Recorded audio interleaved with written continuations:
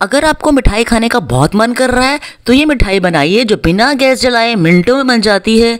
इस मिठाई को बनाने के लिए ना खोया लगता है, ना पनीर, ना कंडेंस्ड मिल्क ना दूध चाहिए। इस मिठाई की खास बात यह है कि ये फटाफट से बन जाती है और बहुत ज़्यादा स्वादिष्ट भी होती है। इसको बनाना बहुत आसान है। तो रेसिपी को शुरू करने से पहले मेरे वीडियो को लाइक कीजिएगा और चैनल को ज़रूर सब्सक्राइब कीजिएगा। यहाँ पे मैंने 200 ग्राम धागे वाली मिश्री ली है। आप देख सकते हैं ये धागे वाली मिश्री है। इसके बीच में एक धागा होता है इसे आप पीसने से पहले निकाल सकते हैं। मिक्सी में पीसने से पहले आप इसे निकाल सकते हैं धागे को। धा, माना जाता है कि धागे वाली मिश्री सेहत के लिए बहुत अच्छी होती है और चीनी रिफाइंड मानी जाती है इसलिए वो सेहत के लिए अच्छी नहीं होती इसलिए मैंने यहाँ पर धागे वाली मिश्री को ही लिया है। थोड़ी हार्ड होती है, इसलिए मिक्सी में डालने से पहले थोड़ा इसको तोड़ सकते हैं आप। मिश्री के धागे मैंने निकाल लिए हैं और इसको हम मिक्सी में अच्छे से ब्लेंड कर लेंगे। बारीक बारीक पीसना है इसको एकदम मिक्सी में। और यहाँ पर मैंने चार पाँच इलायची भी ली हैं, जिनको साबुत ही मैंने इस मिश्री के साथ डाल दिया है और इसको बारीक पीस लेंगे। मिश्री का एकदम बारीक पाउडर बन गया है, इसे हम छानली से छान लेंगे। जो थोड़ी बहुत गुटलियाँ रह गई हैं, इसे हम अलग कर लेंगे। यहाँ मैंने 10-12 काजू बादाम भी लिए हैं, इसे भी मिक्सी में पीस के छान लेंगे। आप चाहें तो इसे आप मिश्री के साथ ही पीस सकते हैं, लेकिन मैंने इनको अलग से ही पीसा, पीस लिया है।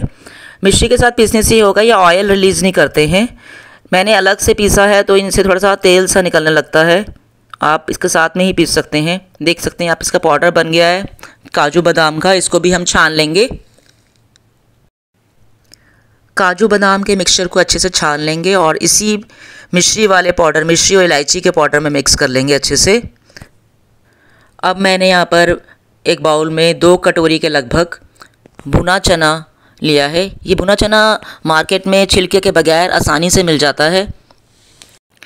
भुना हुआ चना सेहत के लिए बहुत ज़्यादा अच्छा होता है। इसमें ढेरों विटामिन मिल जाते हैं और ये डाइजेस्टिव सिस्टम को मज़बूत करता है। ब्लड शुगर लेवल को कंट्रोल में रखता है। इसे खाने से डायबिटीज़ भी कंट्रोल में रहती है। ये पैकेट मैंने बाज़ार से लिया है। इसमें छिलके नहीं थे और इसको मैंने मिक्सी में ब्लेंड कर लेती हूँ इसे। इसका भी फ़ाइन पाउडर बना लेना है। चलिए इस भुने चने को हम मिक्सी में ग्राइंड कर लेते हैं। इसको बारीक बारीक पीस लेना है। ये सारा मिक्सचर मैंने ग्राइंड कर लिया है। अब इसको छानी से छान लेंगे।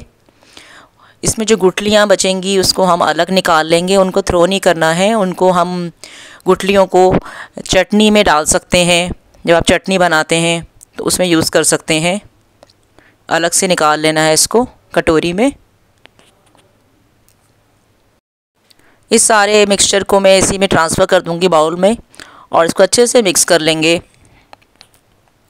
अब मैंने यहाँ पे थोड़ा सा नारियल का बुरादा लिया है डेसिकेटेड कोकोनट आप चाहे तो भुने के चने के साथ ही इसको मिक्सी में चला सकते हैं। मेरी मिक्सी छोटी थी, इसलिए मैं अलग अलग पीस रही हूँ उनको अलग अलग पीसा है मैंने इनको, भुने चने और नारियल का बुरादा। ये आधा कटोरी मैंने लिया है नारियल का बुरादा इसको मैं अलग से ग्राइंड कर लिया है। अलग से ग्राइंड करके इसको भी छान लेंगे। ग्राइंड हो गया इसको मैं छल्ली से छान लेती हूँ पूरा। और सबको मिक्स कर लेना है एक ही उसमें। अब मैं यहाँ पे चार टेबल स्पून मलाई है फ्रेश क्रीम दूध की जो मलाई आती है, वो मैं इसमें ऐड कर दूँगी। इसको अच्छे से मिक्स कर लेंगे, इससे ही बाइंडिंग आएगी। इस मलाई से ही पूरे मिश्रण को बाइंडिंग मिलेगी। इसको गूंथ लेना है, ज़्यादा हार्ड नहीं गूंथना है, थोड़ा हल्के हाथों से ही गूंथना है स्मूथ स्मूथली गूंथना है इसको, पूरे मिश्रण को। हल्के हल्के हाथों से ऐसे गूंथे जाएँ धीरे धीरे दो तीन मिनट तक इसको हल्के हाथों से गूंथे रहेंगे तो ये इसका सॉफ्ट डो तैयार हो गया आप देख सकते हैं कितना सॉफ्ट डो तैयार हो गया है।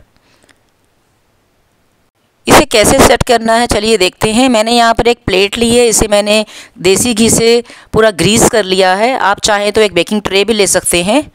पूरा इसको फैला लेना है इसके ऊपर अच्छे से। इसी मिठाई को मैंने पहले थोड़ा हाथ से थोड़ा सा लेवल कर लिया है। साइड्स इसके किनारे जो हैं, इनको आप जितना थिक रखना चाहते हैं, उतना थिक रख सकते हैं।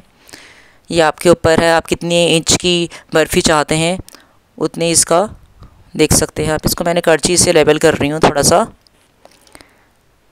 एकदम इसको एकदम लेवल कर लेना है और किनारे एकदम इसके वैसे रखने एकदम मतलब टूटने हुए किनारे नहीं होने चाहिए।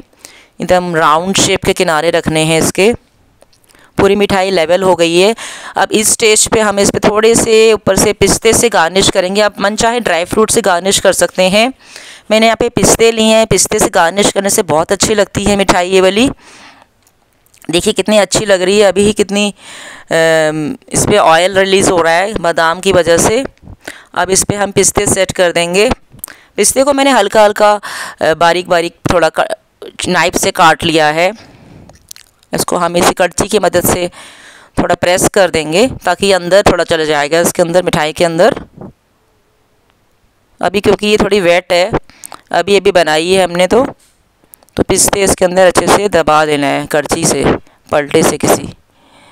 अभी पूरा हो गया है सेट अब इसके ऊपर हम वर्क लगा देंगे. तो वर्क लगाने से ये होगा, एकदम मार्केट जैसा लुक आता है मिठाई का. लग ही नहीं कोई कह ही नहीं सकता कि घर में बनाई मिठाई है मिठाई का टेक्सचर बहुत कमाल का आया है ये. इसके ऊपर मैंने वर्क लगा दिया. चांदी के वर्क से तो बहुत अच्छे से, बहुत अच्छी लग रही है. मिठाई लग ही नहीं रहा है कि एकदम ये घर पे बनाई मिठाई है और इतनी हेल्दी होती है मिठाई ये.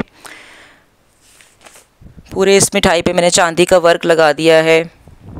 का वर्क भी किसी भी किसी भी किराने की शॉप पे मिल जाता है। पाँच रुपये का एक वो आ जाता है, इसका लीफ आ जाती है पूरी फाइव रुपीज़ की। ज़्यादा महँगा भी नहीं होता है ये। अब इसे हम मनचाही शेप में आप इसको, मैंने इसको चौकोर काट लिया है यहाँ पे नाइफ से। चौकोर काटने के बाद इसमें से हम इसके स्क्वायर को हम थोड़ा सा और आधा काट लेंगे ताकि ये ट्रायंगल शेप बन जाती है। ट्रायंगल शेप की तो बहुत अच्छी लगती है मिठाई ये वाली।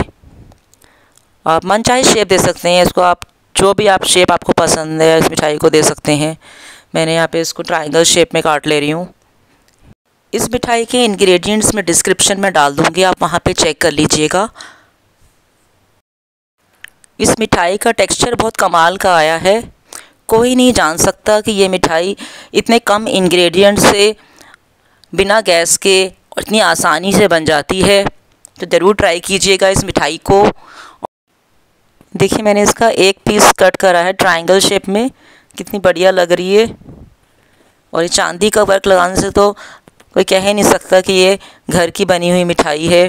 सारी मिठाई मैंने एक प्लेट में ट्रांसफ़र कर दी है और बहुत सारी बन गई है। थोड़ी सी इंग्रेडिएंट से एक किलो के लगभग मिठाई बन गई है।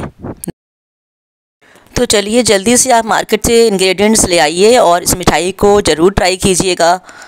धन्यवाद।